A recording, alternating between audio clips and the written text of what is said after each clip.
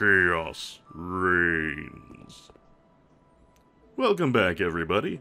I'm here once again for another episode of I Played a Thing, Dark Souls 2, Scholar of the First Sin, New Game Plus Abridged. And with me, as always, is Salad, who today is modeling the Chaos set as obtained from Chaos Sorcerer Navlaan, and I have to say, I think it's a pretty good look. A little on the brown side, but the cape is a nice touch, and that extra long belt gives it a little more energy as we're moving around. A little bit of visual liveliness, you could say. Anyway, we're starting out with enough souls in the stockpile for a level, so we're going to go ahead and take care of that first of all. And since it's just enough for a single level, we'll go ahead and drop that into HP, a little more of which never goes unappreciated. And then we can make our way back to Castle Drangleic and proceed through that.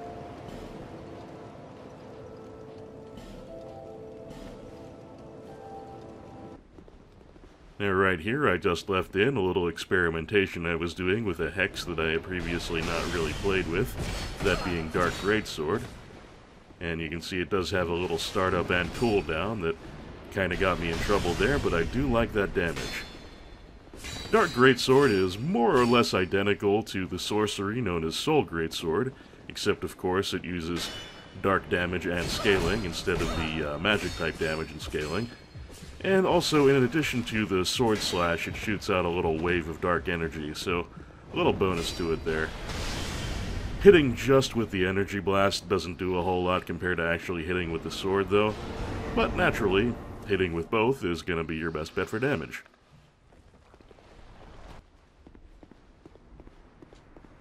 And having taken our uh, little practice run with Dark Greatsword, I decided to see how it would fare against these horsehead statue guys that uh, gave me so much trouble in my initial run. And the answer is really well. Wow. Hitting with both the blade and the blast, you get 4-digit damage out of that, and... Yeah, that's uh, enough to one-shot one of these guys if I can hit them both clean.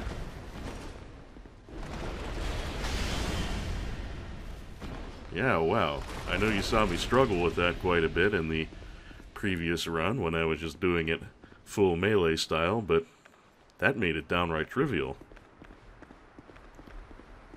I have to say, I'm glad I decided to do a little exploring with that particular new hex. Anyway, that clears our path toward the Looking Glass Knight, so we're going to go ahead and summon ourselves an entourage. The ever-competent Ashen Knight Boyd,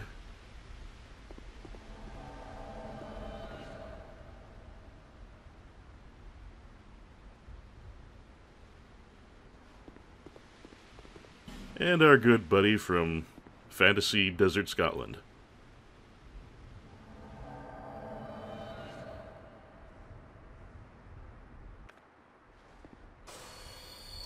Make sure we're all topped up.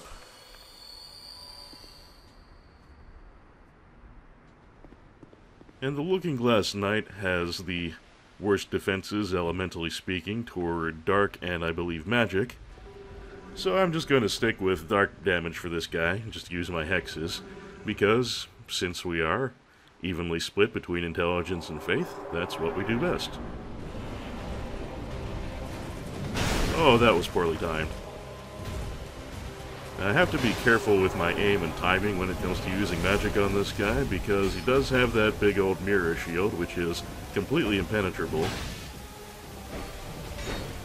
And when it comes to spells, hitting that shield will cause them to rebound right back at you, which fortunately will not hit you. I mean, I'm pretty sure it, it never will. I've had uh, my own projectiles go straight through me without doing any damage, so it doesn't seem like they have any effect on you or your allies. But of course it means that you've wasted a cast that doesn't do any damage to the actual enemy, and that's no help at all. Speaking of projectiles, Great Resonant Soul seems to be having a pretty solid effect on him. Very respectable damage. And as per the usual strategy, our Phantom friends are uh, keeping him nice and busy. Alright, I'm out of Great Resonance, so let's see how the Dark Greatsword works out. Or at least we would if I hadn't completely missed with it. Ah well, got a good opportunity to drop some scraps on him while he's summoning out his Mirror Knight. Pretty sure that is just a standard NPC one, and we didn't actually get a player summoned into the fight because he doesn't seem very effectual. Not super excited with how Scraps is working, but then again, Firestorm type of spells are always a little bit of a crapshoot since you can't actually directly aim them and you just have to kind of hope the, uh, the effects will come out where they're useful to you. Darkstorm, on the other hand, as long as we get right up in his grill, we can pretty much be guaranteed a certain amount of hits.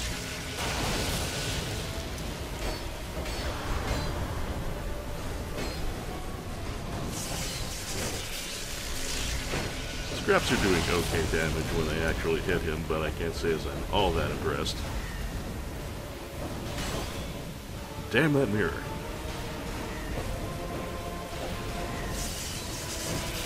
I wish it were that good for spell blocking when you actually used it, but no, you have to actually uh, use the R2 to do it proper timing. But never mind all that. We defeated. And for our New Game Plus boss bonus, we get the maximally upgraded Ring of Steel Protection. Not too bad.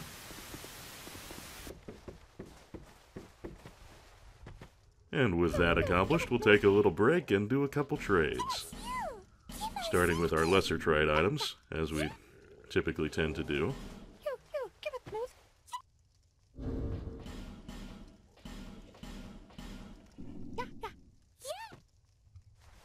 Uh, just a couple of elemental infusion stones from those. How about the somethings?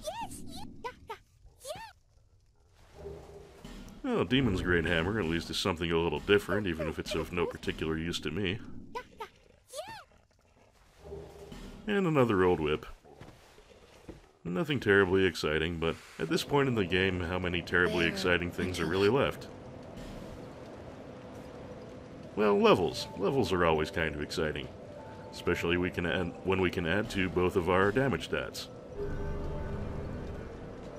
Make that Dark Greatsword hit a little harder yet.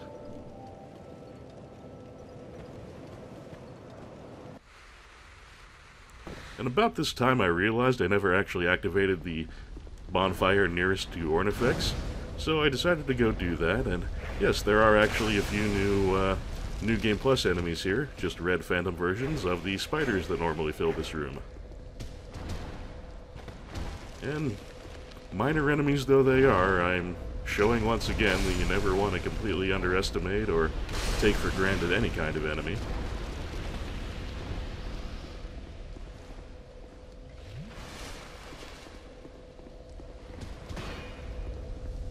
And of course, in close quarters with lots of enemies, the Channeler's Trident does start to feel a little cumbersome.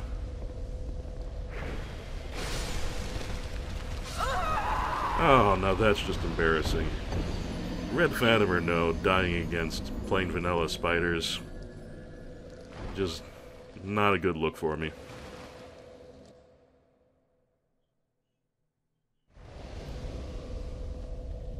Well, we will have to have our revenge as soon as we get our human effigy pop there.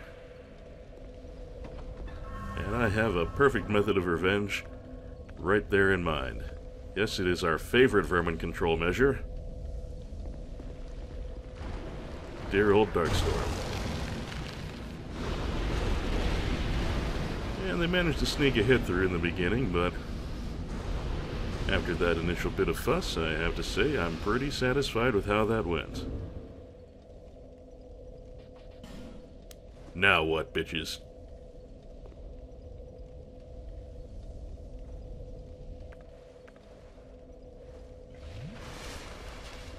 Now we can visit Ornifex quite easily. And we'll pay a little visit now. Hello. We do. And we can make our trade for the other Looking Glass Knight item. The Thorned Greatsword. Fearing something wicked, the king fled the castle and never returned, but his warrior, forever true to his command, stands ready to expunge those who would challenge him. I suppose the Looking Glass Knight is a decent test. Come back again if you find another soul. I'll do that. Now, the Thorn Greatsword, I actually have the stats to use that to fullest effect, so I'm just gonna take a moment and real quick demonstrate its special effect when using its R2 attacks off of either the one-handed or uh, two-handed stance. It shoots lightning.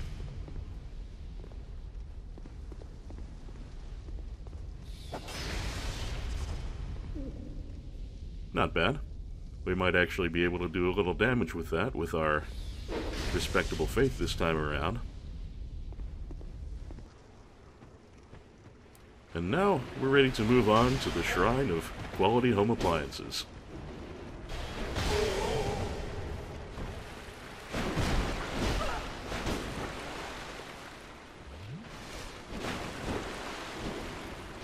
Ah, Greatsword, where have you been all my life? Dark Orb, you're pretty nifty too. Alright, did you see that red phantom where I put the yellow arrow there? Well, I sure as shit didn't. I'm here trying to plink away at this priestess in the Shrine of Amana. And holy shit, where did that come from? Yeah, this is a new guy for New Game Plus, and I completely forgot he was here, didn't recognize I had triggered his appearance, and just got completely taken by surprise. Just a fella in pyromancer garb with a meat cleaver.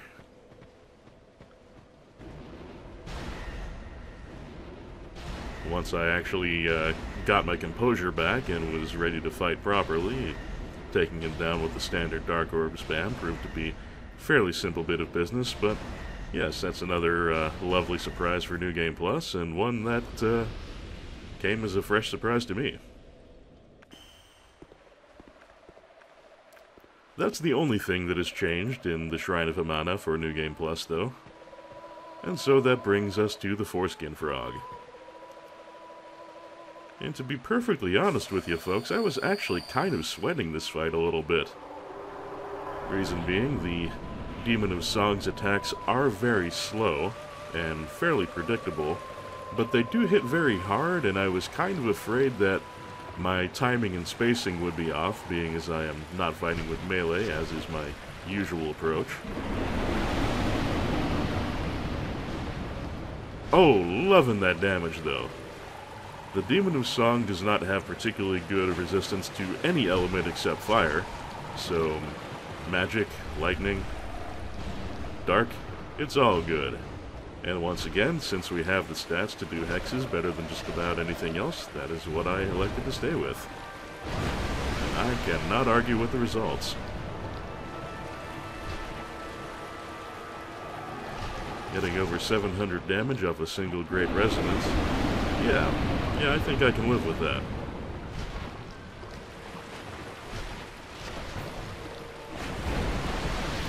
As long as I don't get too far away from him and trigger his charge, which is the one attack he has that is fairly consistently difficult to dodge completely.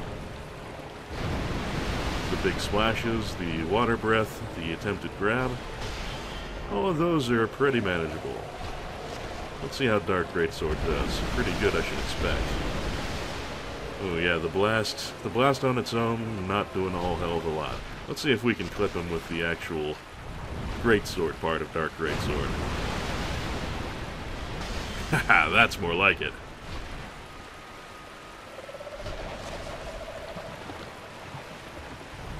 Whee. Oh wow, I cut that one a little close. Yeah, one more solid hit ought to do it.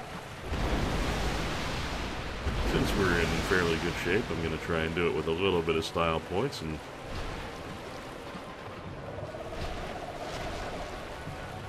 get a dark storm off in his face, if I can.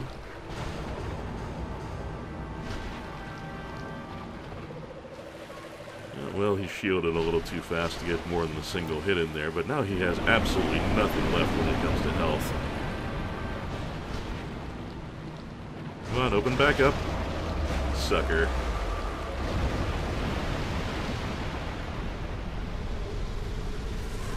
Yep, really didn't have to be sweating that one at all. Now it is only the foreskin frog, I don't really know what I was so worried about.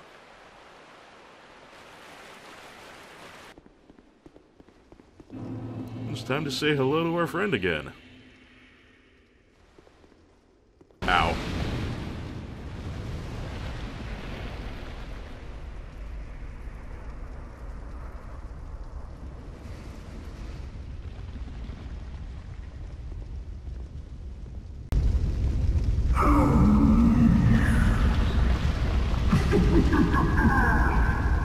I believe we've been acquainted. Young hollow,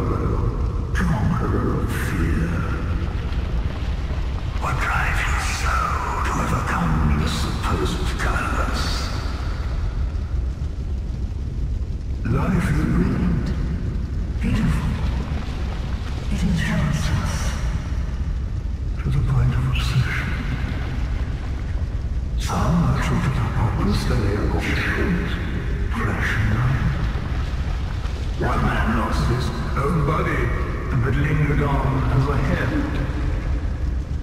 Others chase the charms of love. However. What is it that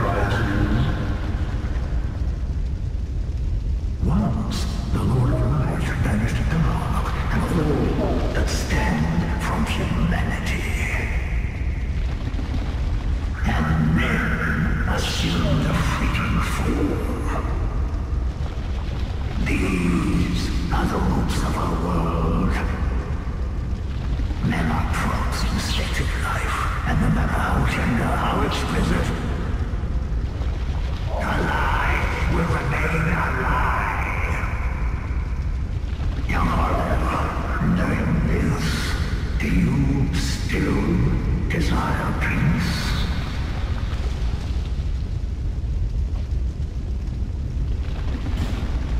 Vendrick, the near true monarch, is here, and not far. But what is a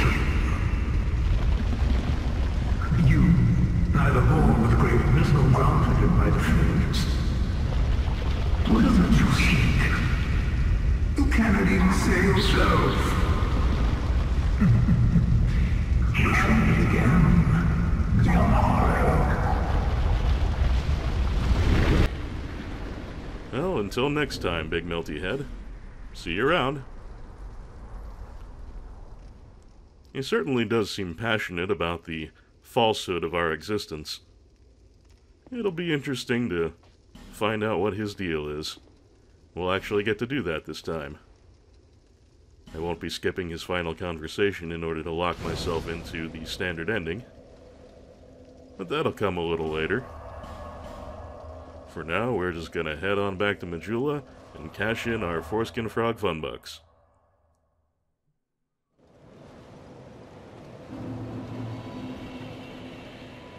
There until And she started to use her new dialogue. Once again, we've got enough for our, both of our damage stats, so we'll go ahead and invest a little further into those. And with that, I think we've had a full day, friends. We've had a busy day. Well, as always, everyone, I thank you very much for watching. Next time, we will proceed onward into the Undead Crypt and once again meet poor old Vendrick. We'll have to slay him eventually, but we probably won't do that right away. Well then, dear friends, until our paths cross once again, for Merchant Hag Melentia and Salad, I am Un, bidding you farewell, and good dreams. My undying gratitude goes out once again to such very generous supporters as Justin Carpenter, Nolden, Zangamarth, Charlie Dunst, Anonymous Benefactor, John Madigan, Sanguine Games, Misha Van Doren, Craig Patterson, Frank Grizzy, Tim J., Lolo De Puzzlo, Joshua C. Ritchie, Jared C. Rice, Darren Chow, Sonic Rose, EX Potemkin, Alicia Goranson, Argyle Jelly, Mechasaurus, DG Jono, Doug Russell, August Fortnight, Patrick Bellinger, and the rest of the usual suspects. And I would, of course, also like to extend my gratitude to all commenters, subscribers, and watchers. It just wouldn't be the same without all you lovely folks to share my journeys with, so thank you, take care, and have a most excellent weekend.